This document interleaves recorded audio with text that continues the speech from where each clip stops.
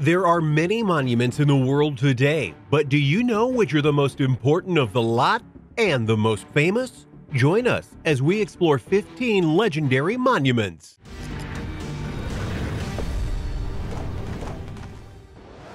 Number 15, Mount Rushmore. Starting off this list, we head to the United States, specifically to South Dakota, for the famous monument known as Mount Rushmore. This massive mountain of stone that features the faces of four different United States presidents was not built for the reasons you might suspect. You see, the idea for this place was made for tourism, as the United States was in a state of expansion and states like South Dakota had no idea how to bring people there. It's still one of the least populated states in the whole U.S., so the idea of making a monument was born.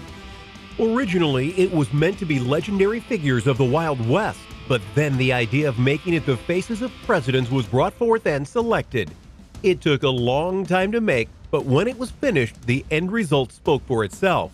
Now, over 3 million people visit it a year, which is much more than the actual population of South Dakota. 14. Great Barrier Reef. Not all monuments are ones made by man. Some are truly made by the hand of nature itself. And the Great Barrier Reef, located off the coast of Australia, is proof of that. The reef is the largest one in the world today.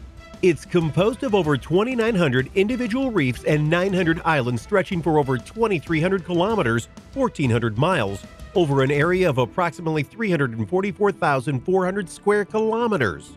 It's massive, and it's full of life via various kinds of fish and even plants. And don't forget, coral reefs are alive, which is why many are fighting to protect this wonder of the world. Oh, and it's so big and expansive, it can be seen from space. Top that. Number 13, Big Ben.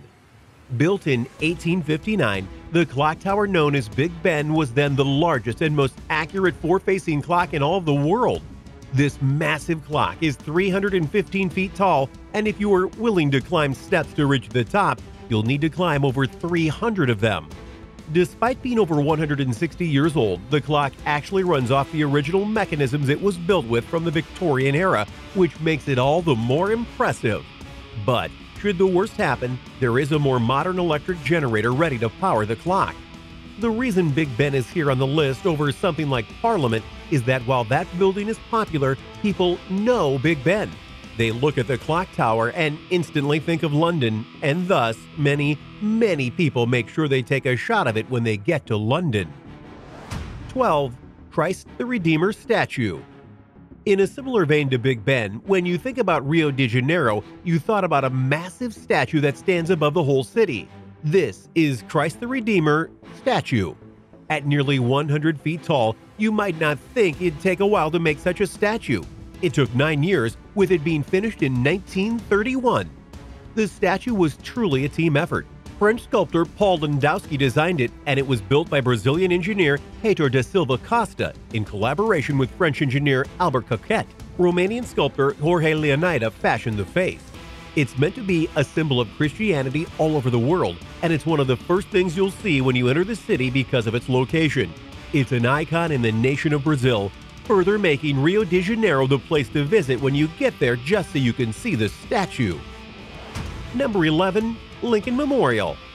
There may have been many legendary United States presidents, but few meant as much as Abraham Lincoln did to the U.S. He was president during the Civil War, and he helped bring the nation back together and free the slaves, abolishing the practice in full. The Lincoln Memorial now stands in Washington, D.C., and is a true monument to the man who helped bring peace and freedom to the nation before his life was taken. What's ironic, though, is that it took many decades after his death for the statue to be made and put where it is in Washington, D.C., mainly because people couldn't agree on what to make it of and like, and so on and so forth. 10. Taj Mahal. Hailed as one of the new wonders of the world, the Taj Mahal stands as one of the most beautiful and visited places in all of India. Construction of the Taj Mahal happened in 1643 and ended a decade later. It was the order of Mughal Emperor Shah Jahan that it be constructed, but not for himself, though he would end up there. It was for his favorite wife to be housed in in regards to her death and burial. The Taj Mahal is hailed as a beautiful piece of architecture, both inside and out. So much so that it's a UNESCO World Heritage Site, meaning that it's protected and will be maintained. Now, 7 to 8 million people a year come to walk the gardens and observe the building in all its glory. Number 9. The Great Wall of China. Fun fact the Great Wall of China originally wasn't one long wall. It actually was sections of wall that were eventually filled in to become one great long wall that we now know of today. Furthermore, the wall that we know of now isn't the same wall per se that was started with. As this wall has been upgraded, remade, rebuilt, and enhanced over the various Chinese dynasties. There was even completely separate Great Walls that don't exist anymore, but this one does. Widely hailed as one of the most impressive feats by man, the Chinese initially built the Great Wall of China to help ward off raiders and invaders to the north. As their nation and empire grew, so did the wall, to the extent that as of now, the wall is over 13,000 miles long. It is so big that it is one of the few landmarks you can see from outer space.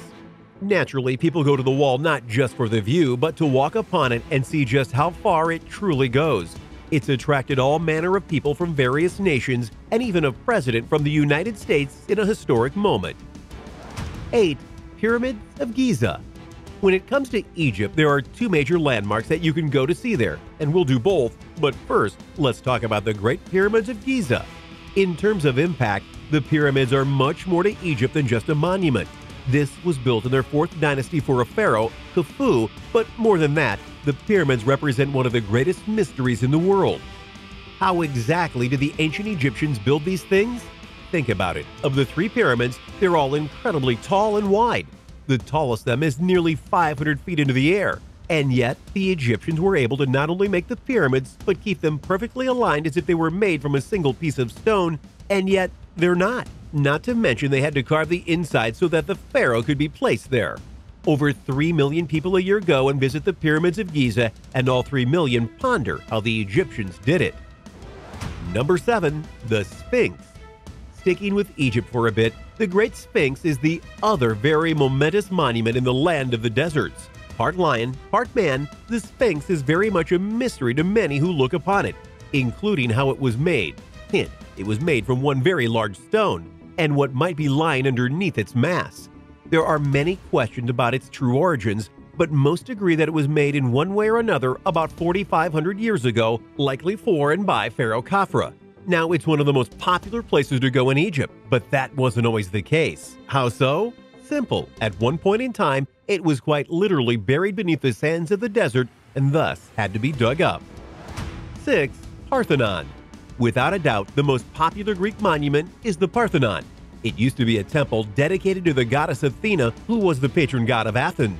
It was built by the Athenians in 447 BC when they were the dominant force of the Greek city states, though it took nine years to fully complete. Interestingly enough, there was another Parthenon that was built before this one, but in 480 BC it was destroyed by the Persians. But when Greece fought back at the Battle of Marathon and kicked Persians' butt, they decided to celebrate by rebuilding the Parthenon, and it stood the test of time ever since, and is still hailed as one of the most important pieces of Greek history left standing. Number 5.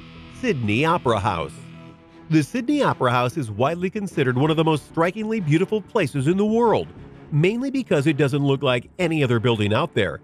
It's also the newest of all the landmarks on this list, for it was only opened for business in 1973. Here's another fun fact. Despite it being called a house, it's actually a building that has multiple venues. Over 1.2 million people attend the various performances every year. Nearly half a million do guided tours, and many more just go outside the building to take pictures. 4. Colosseum The Kingdom of Rome was one of the most powerful and legendary empires of its time, or more accurately, both its time as a republic and a true emperor-led kingdom. But in the time after the fall of Nero, a new emperor rose in the form of Vespasian, and to help keep the people entertained and to prove that Rome was moving forward, he had over 100,000 slaves via war with the Jews to construct the Colosseum of Vespasian. It was and is the largest amphitheater ever built. It was so massive and strong that it could hold 80,000 people in it, which was good because Rome was very large, and the contests that were held in the Colosseum were some of the things that the people of Rome lived to see. And for hundreds of years, this is what the Colosseum was known for. And if you haven't noticed, it's still around. That's because Rome had a way of making concrete that basically made it immortal. Yes, the Colosseum has been damaged in the past, but that honestly only affected the wooden parts, not the concrete for the most part. The Colosseum and what it represents is now a big part of our culture, especially in terms of the media. Number 3. Statue of Liberty The Statue of Liberty means something so much more to Americans than just being a monument. To them, seeing Lady Liberty just off the coast of New York is a symbol. Many people immigrated to the United States, and one of the most popular spots to go to get into the country was Staten Island. Who did you pass on your way there? Lady Liberty. Who made the Statue of Liberty? It wasn't the US, it was actually France. Frederic Auguste Bartholdi sculpted it, and it was inspired by Edouard René de Laboulaye. They made the statue itself, and the US provided the spot to where it would be placed and now appropriately named Liberty Island. Since its arrival in 1886, millions upon millions of people have gone to the Statue of Liberty to see its historical beauty and even stand on top of it via her crown, though this has been barred due to safety concerns. 2. Eiffel Tower Located in Champ de Mars in Paris, France, the Eiffel Tower isn't just one of the most visited landmarks in the world, it's also one of the most iconic landmarks in the world, period. Sure, there are a lot of towers and skyscrapers in various countries, but this? This is different. Much different. This is art. Ironically, though, after it was finished in regards to construction in 1889, the people of France weren't impressed. In fact, many artists and designers went and criticized the construct because of how it looked. If you ever wondered why did they build it, it was actually meant to be an entranceway to the 1889 World's Fair. But just as important, at the time, it was the tallest man-made structure in the world, beating out another famous landmark, the Washington Monument. And it held that title for 41 years, which is fascinating given that the Eiffel Tower is over 1,000 feet tall. In 2015 alone, over 6 million people paid to see the tower, making it the most visited paid monument in the world. Number 1. Stonehenge. What the heck is Stonehenge? This is a question that has boggled the minds of many through the millennia. And while we don't know exactly when it was built in full, we do have some ideas. Mainly archaeologists theorize that it was made between 3000 to 2000 BC, thus it's over 4 to 5000 years old. And that's one of the big mysteries of it. For you see, Stonehenge is a series of stones that are placed in various ways in a seemingly random field two miles west of Amesbury. More than that, some of the rocks are on top of other rocks. So, how do these people get the stones up there? Here's another question Where did the rocks come from? They weren't in the field originally, we can tell that. In fact, scientists have studied the rocks and found that some of them emanate from, are you ready for this? 139 miles away. So they had to go get these rocks and then get them all back just to set them up like they did? Why? The world may never know, and that's why millions visit it every year. Thanks for watching, everyone. What did you think of these famous monuments? Were you surprised by some of the ones that made it on the list? How many of these have you visited in your lifetime? Let me know in the comments below. Be sure to subscribe, and I'll see you next time on the channel.